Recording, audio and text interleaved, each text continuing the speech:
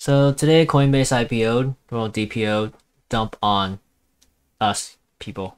Yeah, DPO get it dump on people. You know IPO is you know they have like it's just different. That means they're they're their own exchange and they can like sell it.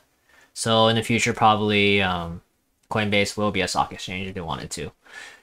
But right now they're a crypto exchange. So basically it ran up for the first uh, three minutes. Yeah, three minutes to get in and out. And after that, it started dumping.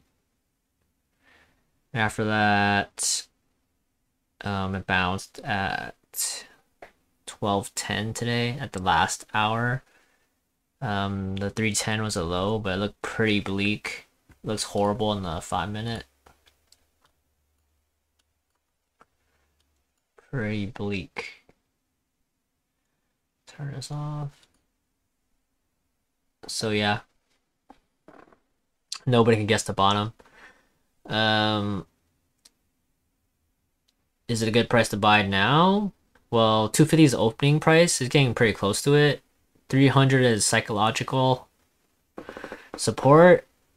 Um, right, the current bottom is at 310, but I don't know how low it's gonna go. Good news though, Cathie Wood did buy um coin. Coinbase. See that? They bought it.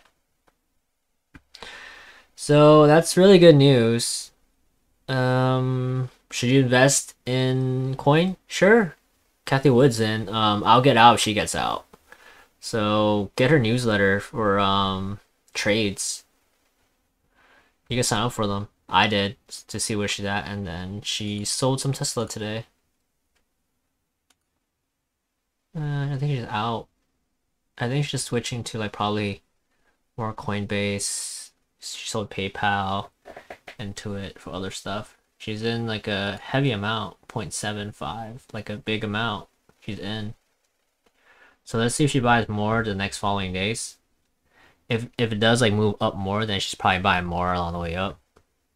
So yeah, I just want to say that. Um, thanks for watching, guys, and um, peace.